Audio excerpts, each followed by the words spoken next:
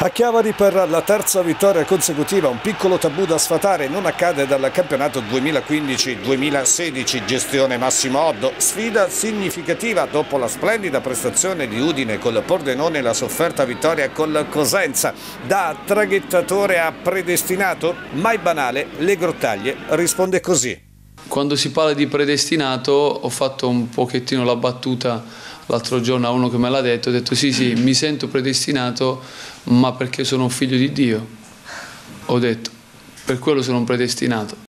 Pesante l'assenza dello squalificato Palmiero, in rosa non c'è un sostituto naturale. Sorpresa Bruno, in netto vantaggio su Castanos, il 36enne mediano di Benevento non gioca titolare dalla prima giornata, trasferta di Salerno. Le altre probabili novità nel ruolo di mezzala Creco favorito su Melegoni e Clemenza, presidio della fascia mancina, il rientro tra i titolari di Masciangelo. Ecco dunque il probabile 11-3-5-2, Fiorillo Trepali, Bettella, Druni Brodi e Scognamiglio, trio di centrali di difesa, Zappa e Masciangelo sulle fasce, Memuscia, Bruno e Creco a centrocampo, davanti il tandem Galano-Maniero. È una partita difficile, una partita dove loro puntano molto sul, sul, sul, gioco diretto, si creano vantaggi sulle seconde palle, con l'attacco diretto, quindi abbiamo bisogno di, di giocatori che ci coprono bene quegli spazi che loro andranno a cercarsi. Chi sostituirà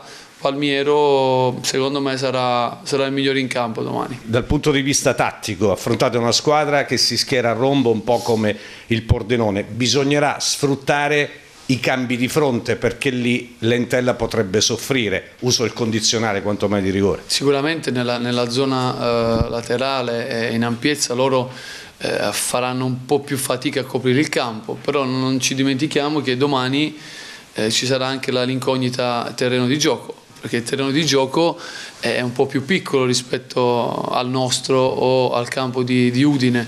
Voglio una squadra coraggiosa, eh, questo è quello che mi preme dire e quello che vo vorrei ecco, che i miei giocatori domani eh, mi facessero vedere in campo. Per contro Lentella un solo successo nelle ultime sei partite a Cittadella lo scorso 29 dicembre. In casa non vince dal 14 dicembre 2-0 con l'Empoli. Pescara mai battuto finora 7 sfide, 3 KO e 4 pareggi consecutivi. Liguri privi di crimi per infortunio e Schenetti causa squalifica. Debuttano Jacopo Dezzi, abruzzese di Roseto e lo spagnolo Rodriguez.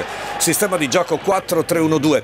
Contini, tre pali, Coppolaro, Pellizzer, Chiosa e Sala in difesa. A centrocampo Settembrini, l'ex Andrea Paolucci e Mazzitelli. Sulla tre quarti appunto Dezzi alle spalle del tandem d'attacco Giuseppe De Luca Rodriguez. Il tecnico Roberto Boscaglia.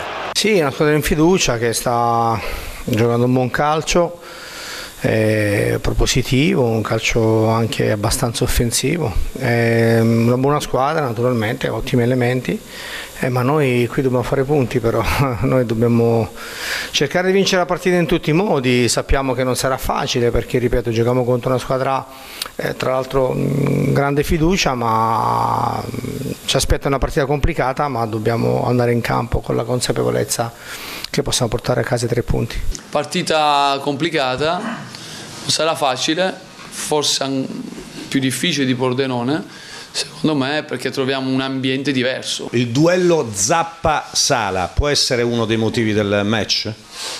Assolutamente sì. Uno, ma anche tutti gli altri. Mm. Se noi vinciamo, più duelli vinciamo in una partita, più possibilità di vincere abbiamo. Io credo nel, nella semina e nel raccolto questo è un principio di vita sempre, eh, in cui ho sempre creduto, no? Quindi c'è un raccolto e c'è una semina. A volte tu semini e qualcuno raccoglie. E a volte tu raccogli dove qualcuno ha seminato. Io a volte mi è capitato nella mia carriera di seminare e qualcun altro ha raccolto il, il, il frutto della mia semina. Quindi io sono convinto di aver raccolto anche, eh, il, sto raccogliendo dei frutti di, di, un, di un, lavoro seminato da, da, Luciano e dal suo staff in passato. Eh, assolutamente, dovessimo raggiungere un risultato a giugno eh, bisogna ringraziare tutti, anche loro, perché poi insieme abbiamo raggiunto il risultato. Quale risultato? Perché questo il massimo. Perché Galeone ha detto bisogna puntare dritti alla Serie A. Eh io gli, gli, do il 5 a Galeone, perché Galeone sa come, come bisogna vivere le partite e i campionati. Cioè io non faccio niente per perdere. Certo. Cioè io Beh. sono di quell'idea che se faccio questo è perché voglio il massimo. E il massimo è la Serie A e dobbiamo puntare alla Serie A. Se poi non ci arrivi eh, ci riproveremo. Tra un giocatore motivato come Bocinov, perché l'abbiamo ascoltato anche noi, eh, non aspetta che una telefonata dal club, e un altro che invece come Mate, per carità, grande giocatore, che però dice sì, io voglio, voglio rimanere in Serie A, se non arriva alla Serie A potrei prendere in considerazione l'ipotesi Pescara. C'è una bella differenza. Eh? La differenza la fa la motivazione, hai detto tu. Quindi se in effetti uno deve scegliere no, a parità di condizioni un giocatore, prendo quello che è più motivato, quello che è più motivato, che è più, ripeto, che è più umile. Il campionato per noi inizia domani, non c'è niente da fare, ogni partita, ogni domenica il nostro campionato inizia a Intella, a Chiavari, domani alle 3 noi iniziamo il campionato. Per me è la prima partita che faccio, è come se eh, il presidente mi avesse chiamato ieri e mi avesse detto eh, devi, devi allenare la squadra domenica. Io la sto vivendo così.